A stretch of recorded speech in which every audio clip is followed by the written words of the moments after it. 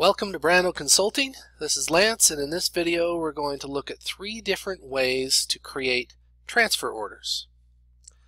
First of all let's find the screen. The transfer order is under Materials, Transfer Order.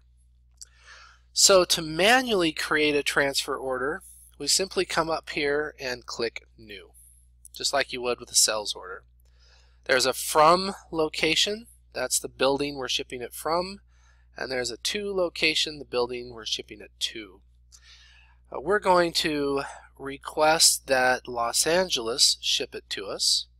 I'm in the Salt Lake City area, so I'll be the excuse me, I'll be the owner of Salt Lake City.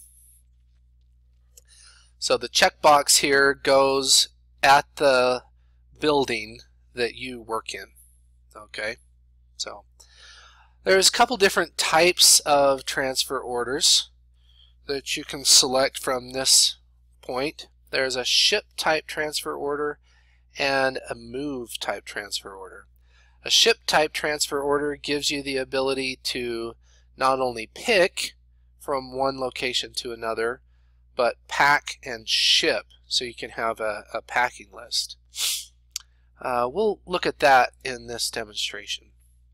Okay, and then let's request from LA some bicycles. Since we're on the Bicycles Unlimited database, we'll select uh, 50 or 40 hybrid bikes and let's select um, 25 comfort bikes and we need uh, let's say 25 mountain bikes. Okay, so we're almost done with our request. Under the Details tab, we'll request when we would like to receive it by. We need it by the 22nd or the 24th. Let's give them a little bit of time. And it's just asking us to update the dates for each line. And we'll say, no, we're not going to pick it up. That's what will call means. We're going to ask them to deliver it to us. And then the very last step, click Issue. All right, so click New, decide where it's coming from, where it's going to, the type of tran the type of uh, transfer order, and then add the lines. Okay, so the next type of transfer order we want to look at is replenish. Love this feature.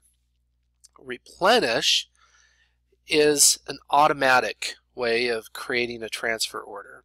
And what this means is one of your warehouses getting low and you're going to have Fishbowl determine what is low in your warehouse. It looks at the quantity on hand in that warehouse. It looks at the quantity demanded under that warehouse. It looks at what you're already waiting for to come, you know, like an out, outstanding purchase order uh, or other transfer orders. It looks at outstanding manufacturer orders and it also looks at your reorder points, your min and max levels. So when we click next here, we'll say, okay, let's uh, ask LA to replenish us here in Salt Lake City. It automatically went to Salt Lake City when I checked that box. And then it tells us that it's going to include parts without reorder points as well. In other words, if they're on back order, it'll trigger it. And it's going to ignore parts that are supposed to be manufactured. Fishbowl's smart enough to do that and it's going to ignore parts that are custom manufactured. It's smart enough to do that. Click Finish, it churns, it thinks, it triggers, and then, like magic, there's our transfer order with all the parts. Last step, we click Issue. Now this feature I also like, uh, the Put Away feature. So I'm going to click on Put Away.